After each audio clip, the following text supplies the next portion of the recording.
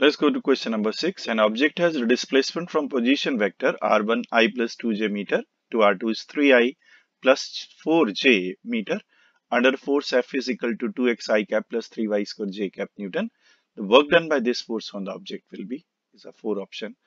Now see dear students that the force is variable so we will use the integration method to calculate work. So F is equal to F dot dr with integration.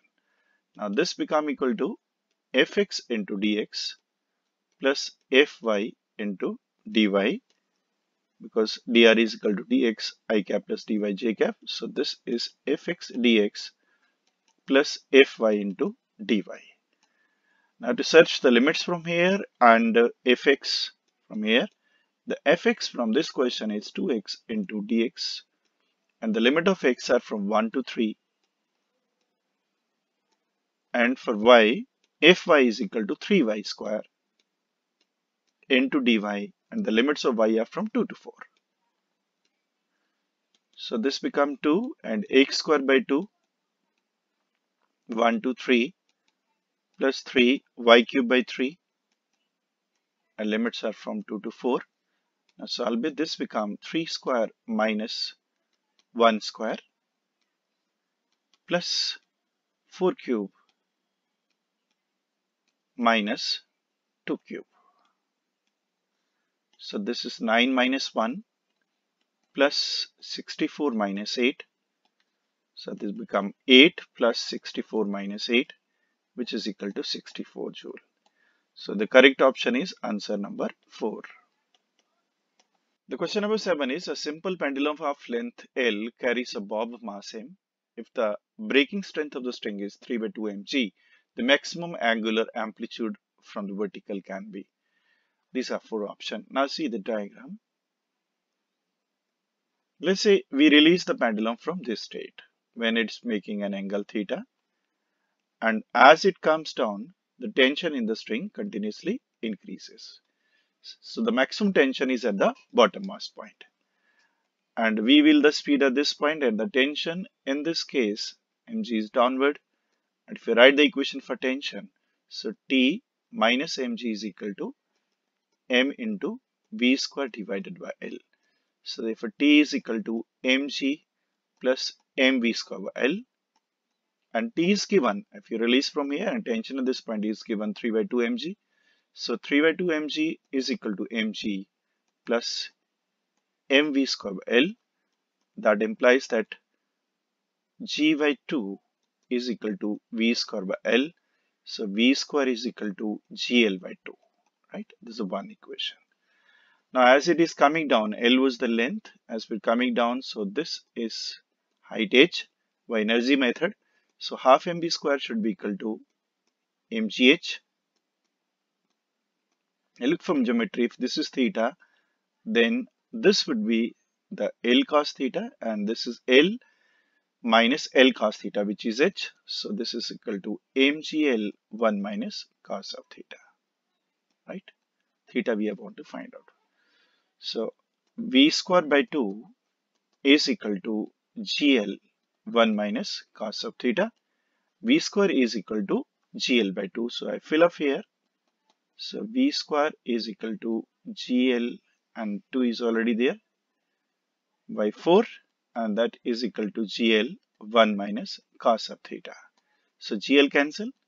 Then 1 minus cos theta is equal to 1 by 4 and therefore cos theta is equal to 3 by 4.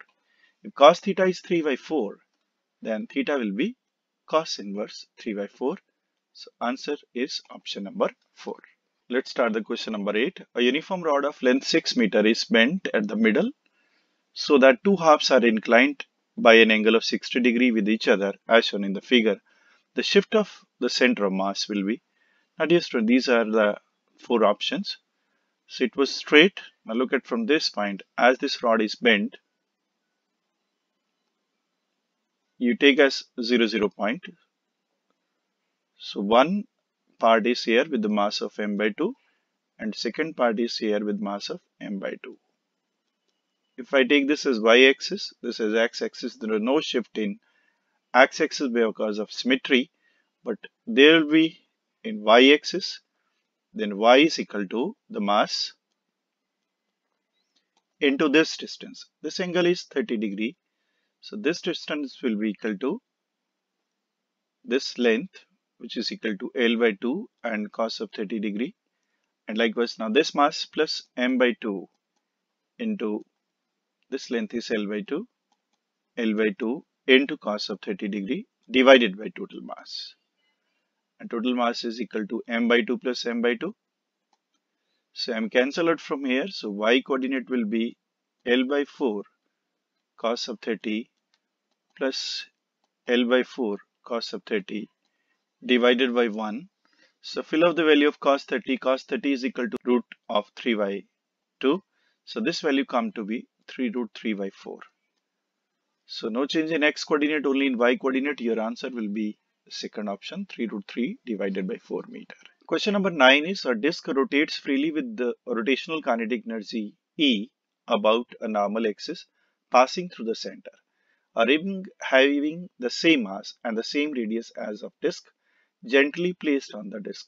The new rotational kinetic energy of the system would be. Now dear students, a disk was rotating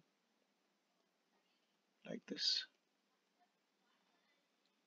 And the energy of the disk will be equal to half of I which is equal to mr square by 2 into omega square.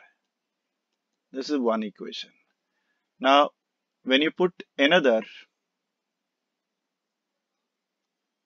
ring on the disk, the new moment of inertia will change and therefore accordingly the omega will change. And by conservation of angular moment of I into omega will be equal to I prime into omega prime.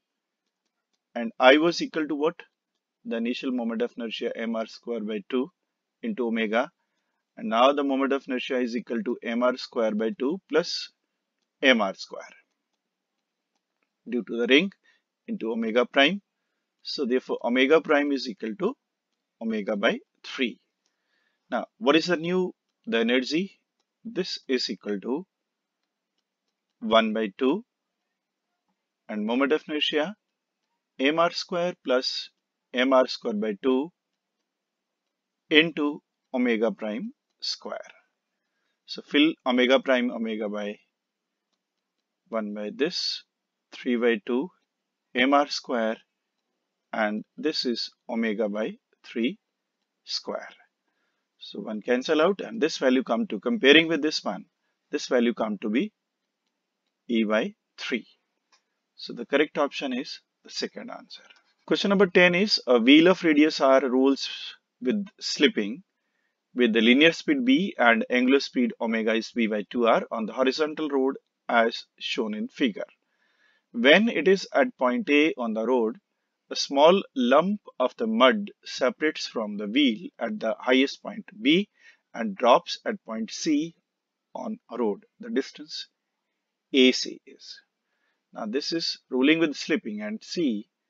The velocity of this point will be 1 because of center of mass which is V and second due to the, the rotation that is equal to omega into R and this is V plus omega is given equal to V by 2R into R.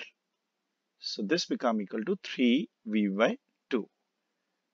Now this become a projectile instantaneously as get separated. So this is horizontal projectile and this will go like this one with the initial velocity and the range become equal to the horizontal velocity into the time of the flight and time of flight formula what is that 3v by 2 and this is equal to 2h by g. And what is h in this case? This height which is equal to 2r so this is equal to 3v by 2 into 2 h is equal to 2r divided by g root. So this is 3v by 2 into 2 into root of r by g. So 2 cancel with 2 so this is 3v into root of r by g and the correct option is answer 3.